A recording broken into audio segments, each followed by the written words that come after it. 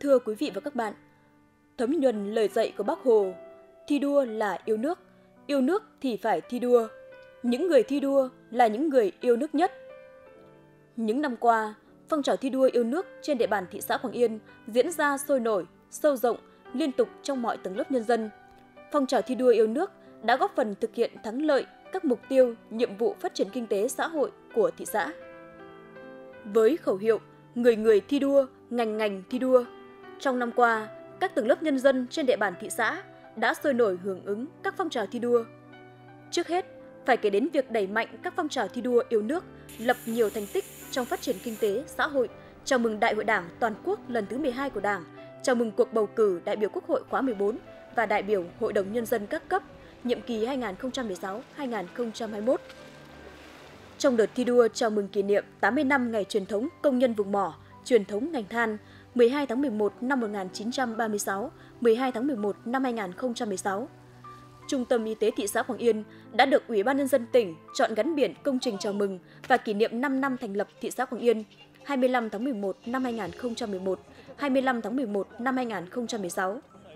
Có 3 công trình, công trình nhà luyện tập thi đấu thể thao thị xã, công trình đường điện chiếu sáng tỉnh lộ 338, công trình trường tiểu học Đông Mai, được thị xã quyết định chọn gắn biển chào mừng. Đây là những công trình nằm trong lộ trình xây dựng thị xã Quảng Yên trở thành đô thị loại 3 vào năm 2020. Xác định là năm có nhiều sự kiện chính trị đặc biệt quan trọng và là năm đầu thực hiện nghị quyết đại hội đảng các cấp. Cấp ủy chính quyền thị xã Quảng Yên đã tập trung lãnh đạo, chỉ đạo, điều hành quyết liệt, linh hoạt, tăng cường kiểm tra, đôn đốc và kịp thời tháo gỡ những khó khăn, đồng thời ban hành các chương trình công tác, kế hoạch phát động các phong trào thi đua yêu nước nhằm động viên các tầng lớp nhân dân vượt qua khó khăn, thử thách, hoàn thành thắng lợi các nhiệm vụ phát triển kinh tế, xã hội. Do đó, tăng trưởng kinh tế đạt cao so với cùng kỳ, tăng 16,5%, tăng cao nhất so với 5 năm gần đây. Trong đó, công nghiệp, tiểu thủ công nghiệp, xây dựng chiếm tỷ trọng 59,8%, dịch vụ chiếm tỷ trọng 20,8%, nông nghiệp chiếm tỷ trọng 19,4%. Cùng với đó, công tác quy hoạch, xây dựng kết cấu hạ tầng, phát triển đô thị được tập trung chỉ đạo và thực hiện đạt kết quả tích cực. Với sự nỗ lực phấn đấu của Đảng bộ, chính quyền thị xã, năm 2016, quy hoạch chung thị xã Quảng Yên đến năm 2030, tầm nhìn đến năm 2050 đã được công bố rộng rãi cho các nhà đầu tư và trong nhân dân. Quy hoạch hướng đến mục tiêu xây dựng thị xã Quảng Yên trở thành trung tâm kinh tế, thương mại, du lịch dịch vụ và cảng biển của tỉnh Quảng Ninh, trở thành khu vực phát triển năng động về kinh tế biển. Quy hoạch cũng chỉ rõ các phân khu phát triển cho các ngành kinh tế mũi nhọn của địa phương, đưa ra định hướng và các dự án thu hút đầu tư phát triển hạ tầng kỹ thuật đô thị như giao thông kết nối, điện, cấp thoát nước và vệ sinh môi trường. Đến trước năm 2020 trở thành đô thị loại 3 và trước năm 2030 sẽ là một thành phố thông minh, văn minh hiện đại. Ngay tại hội nghị công bố quy hoạch, đã có 8 doanh nghiệp ký biên bản ghi nhớ đầu tư và 8 dự án vào thị xã Quảng Yên với tổng mức đầu tư trên 5.200 tỷ đồng. 4 doanh nghiệp ký cam kết đảm bảo tiến độ đầu tư cho 4 dự án lớn đang triển khai tại thị xã Quảng Yên, có tổng mức đầu tư trên 10.600 tỷ đồng. Công tác giải phóng mặt bằng thi công các dự án lớn, các dự án trọng điểm trên địa bàn thị xã được tập trung chỉ đạo, tháo gỡ những khó khăn vướng mắc. Tiêu biểu như dự án đường cao tốc nối thành phố Hạ Long với cầu Bạch Đằng, nút giao vào các công trình phụ trợ, dự án Trung tâm huấn luyện quốc gia về phòng chống khủng bố giai đoạn 3, dự án khu công nghiệp Đông Mai, dự án đường Phong Hải Tiền Phong, dự án khu công nghiệp và cảng Nam Tiền Phong rộng 68 ha đang được đẩy nhanh tiến độ giải phóng mặt bằng và tạo sự phát triển mới cho vùng đất Quảng Yên. Các ngành dịch vụ phát triển nhanh, đa dạng, một số ngành có tốc độ tăng trưởng cao. Giá trị sản xuất ngành kinh doanh thương mại trong năm 2016 tăng 8,8% so với cùng kỳ. Giá trị sản xuất dịch vụ vận tải tăng 15,3%. Dịch vụ bưu chính viễn thông tăng 14,8%. Cũng trong năm 2016, có 39 doanh nghiệp mới được thành lập, cuộc vận động người Việt Nam ưu tiên dùng hàng Việt Nam được triển khai thực hiện tốt, tạo bình ổn giá cả trong nhân dân. Việc quảng bá du lịch tiếp tục được đẩy mạnh. Trong năm 2016, thị xã Quảng Yên đã đón 230.000 lượt khách trong nước và nước ngoài đến thị xã tham quan các điểm di tích lịch sử và lễ hội. Sản xuất nông nghiệp đã nâng cao chất lượng sản phẩm, diện tích do an toàn được mở rộng, xây dựng cánh đồng sản xuất lúa thương phẩm chất lượng cao. Việc xây dựng cánh đồng mẫu lớn và xây dựng thương hiệu nông sản được đầu tư, bước đầu đã đem lại giá trị kinh tế cao.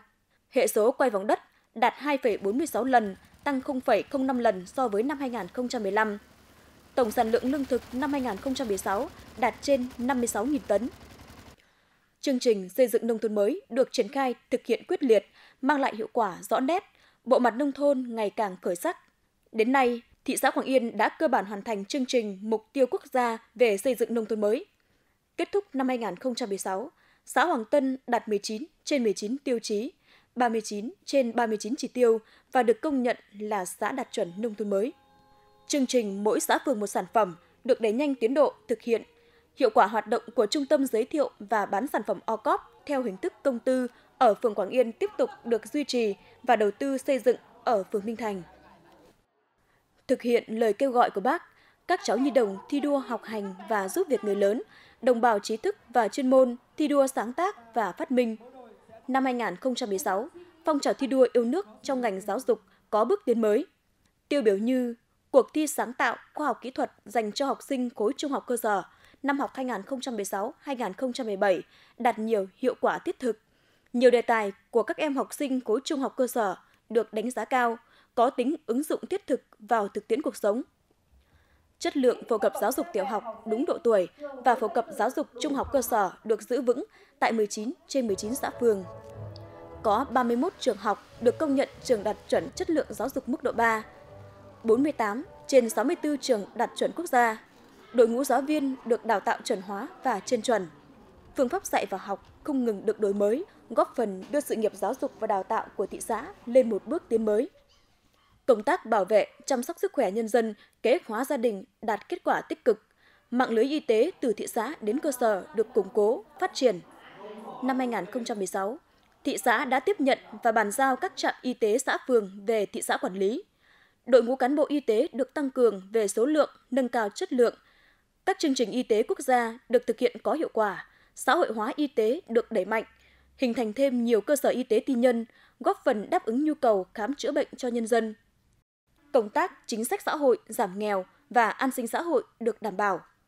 Việc phối hợp trong giải quyết các việc làm đối với lao động nông thôn trong năm 2016 được thực hiện có hiệu quả, tạo việc làm mới cho trên 2.000 lao động, số hộ nghèo giảm xuống còn 3,42%. Hưởng ứng lời kêu gọi của bác trong lực lượng vũ trang,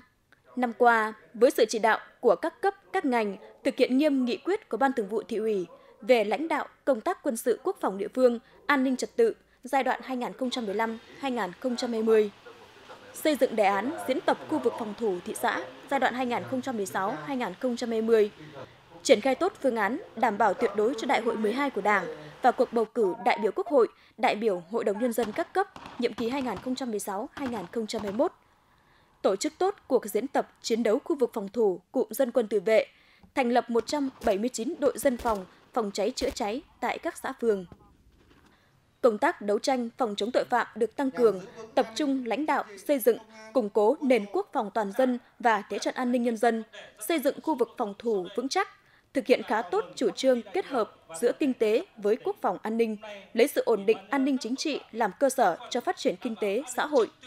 Vì vậy, trong năm 2016, phạm pháp hình sự trên địa bàn thị xã chỉ xảy ra 40 vụ, tiến hành điều tra làm rõ nhiều vụ việc phức tạp, đem lại sự bình yên cho nhân dân lực lượng vũ trang đóng quân trên địa bàn thị xã, duy trì nghiêm chế độ trực sẵn sàng chiến đấu, tăng cường công tác bồi dưỡng kiến thức quốc phòng cho các đối tượng, tập huấn huấn luyện cho chỉ huy trưởng các xã phường và chuyên trách tự vệ cơ quan, doanh nghiệp. Hoàn thành công tác tuyển quân năm 2016 với 240 năm công dân lên đường nhập ngũ trong năm 2016, đồng thời thực hiện có hiệu quả việc đăng ký năm công dân tuổi 17 cho trên 1.000 thanh niên. Ngoài ra, lực lượng vũ trang tham gia làm tốt công tác phòng chống thiên tai, tìm kiếm cứu nạn và thực hiện cuộc vận động chung tay xây dựng nông thôn mới bằng những việc làm thiết thực, cụ thể.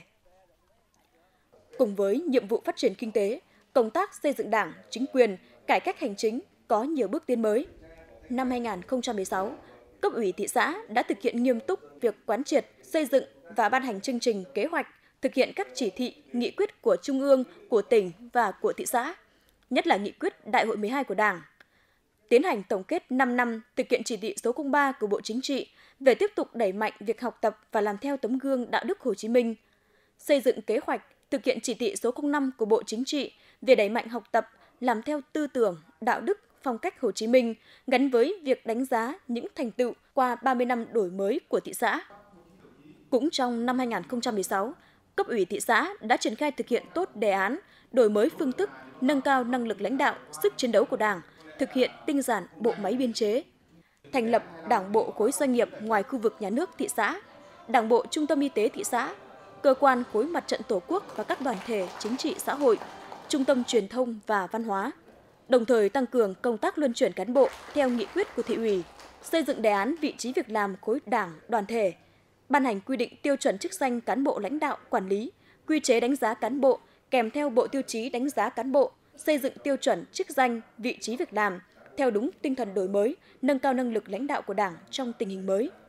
hàng quý, thường trực thị ủy, hội đồng nhân dân, ủy ban nhân dân thị xã tổ chức giao ban đối thoại với cấp ủy xã phường và đội ngũ cán bộ thôn khu. Đây là hoạt động hết sức có ý nghĩa trong công tác lãnh đạo của Đảng, đánh giá một cách sát thực hoạt động của thôn khu trên các lĩnh vực. Đồng thời lắng nghe tâm tư, nguyện vọng, những vấn đề đang hàng ngày diễn ra còn gây khó khăn bức xúc trên địa bàn dân cư. Từ đó, có sự điều chỉnh trong lãnh đạo, chỉ đạo, triển khai thực hiện đạt kết quả cao hơn xác định là năm đầu triển khai thực hiện nghị quyết Đại hội Đảng các cấp nhiệm kỳ 2015-2020. Thị xã Quảng Yên đã tổ chức nghiên cứu, học tập các nghị quyết của Trung ương, của tỉnh và của thị xã một cách đầy đủ, nhất là việc học tập, quán triệt nghị quyết Trung ương 4 khóa 12 của Ban chấp hành Trung ương Đảng. Quảng Yên xác định là nghị quyết có ảnh hưởng trực tiếp đến từng tổ chức cơ sở đảng và từng đảng viên. Vì vậy yêu cầu các cấp ủy, tổ chức đảng phải nhận diện cho đúng các biểu hiện suy thoái về tư tưởng chính trị, đạo đức, lối sống, những biểu hiện tự diễn biến, tự chuyển hóa, để từ đó xác định giải pháp xây dựng đội ngũ cán bộ lãnh đạo, quản lý, đáp ứng yêu cầu, nhiệm vụ, khắc phục những yếu kém, củng cố niềm tin trong nhân dân.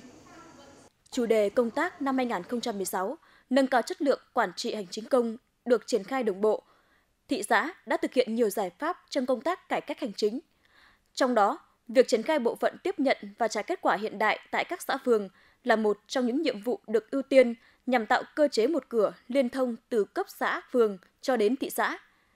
Qua đó, góp phần xây dựng nền hành chính theo hướng hiện đại, chính quy, đáp ứng tốt nhu cầu của tổ chức và công dân trong giải quyết các thủ tục hành chính. Đến nay, đã đưa 100% các thủ tục hành chính thuộc 19 lĩnh vực vào giải quyết tại Trung tâm Hành chính công. 202 trên 327 thủ tục hành chính được thực hiện giao dịch trên hệ thống mạng, tạo thuận lợi và sự hài lòng cho người dân và doanh nghiệp khi đến giao dịch. Từ phong trào thi đua yêu nước đã xuất hiện nhiều điển hình trên các lĩnh vực như phong trào nông dân sản xuất kinh doanh giỏi của Hội Nông dân, phụ nữ tích cực học tập, lao động sáng tạo, xây dựng gia đình hạnh phúc của Hội Phụ nữ,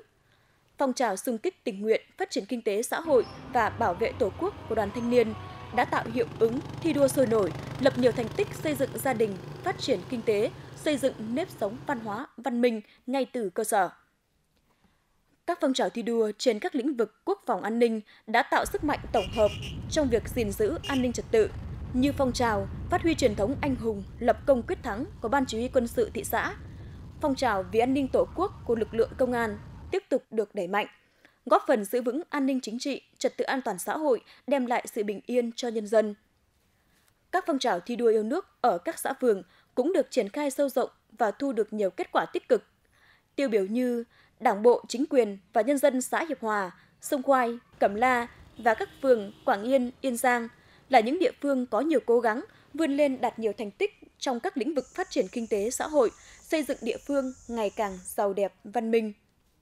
Đặc biệt, Phong trào thi đua dân vận khéo của Ban dân vận thị ủy trong năm qua đã tạo sức lan tỏa đến đông đảo các tầng lớp nhân dân với những mô hình cụ thể, thiết thực như dân vận khéo trong giải phóng mặt bằng, dân vận khéo trong phát triển kinh tế, dân vận khéo trong thực hiện các nhiệm vụ chính trị tại địa phương. Từ các phong trào thi đua cũng đã xuất hiện nhiều cá nhân tiêu biểu trong lao động sản xuất, những tấm gương bình dị trong cuộc sống. Họ đã vươn lên trở thành những điểm sáng, góp phần xây dựng công ty, xí nghiệp xây dựng quê hương ngày càng giàu mạnh. Với vai trò là đội trưởng đội vận chuyển sản xuất của công ty cổ phần Vigala Seza Hạ Long 1, anh Nguyễn Văn Điều cùng với anh em công nhân trong tổ luôn hoàn thành xuất sắc nhiệm vụ được giao, góp phần cùng dây chuyền sản xuất tạo ra sản phẩm gạch đạt chất lượng cao, có uy tín trên thị trường. Sinh năm 1986, tuy mới vào làm việc tại công ty được 5 năm, nhưng Nguyễn Văn Điều đã tham gia nhiều giải pháp tích cực cùng với ban giám đốc công ty từng bước tháo gỡ khó khăn, đề ra các giải pháp kiện toàn, sắp xếp lại mô hình sản xuất, tăng cường công tác quản lý vật tư, nguyên liệu, nhiên liệu đầu vào, giám sát quá trình sản xuất, đảm bảo số lượng, chất lượng sản phẩm, tạo mặt bằng sạch sẽ trong môi trường sản xuất, góp phần cải thiện điều kiện làm việc cho người lao động trong công ty. Trong điều kiện khó khăn chung của nền kinh tế, công ty vẫn đạt mức tiêu thụ sản phẩm đáng kể trong năm 2016. Tổng sản lượng tiêu thụ gạch tại công ty đạt trên 60 triệu viên, tạo việc làm ổn định cho gần 200 công nhân lao động, với mức thu nhập từ 4,5 đến 7 triệu đồng một người trên tháng. Xuất phát từ thực tế làm lũ của người nông dân, với tâm niệm quyết tâm làm giàu ngay trên đồng đất của địa phương. Suốt thời gian từ năm 1994 đến nay, ông Vũ Tài Khái ở khu 1 phường Hà An đã mạnh dạn khai hoang, phục hóa diện tích trên 6 hecta, đầu tư vào lĩnh vực trang trại vườn ao chuồng, mang lại thu nhập kinh tế cao cho gia đình. Riêng trong năm 2016, ông thu về trên 300 triệu đồng từ nuôi tôm và ước tính còn trên 4 tấn cá các loại, đàn lợn thịt hàng trăm con vẫn đang được ông thu hoạch và bán vào dịp Tết nguyên đán này.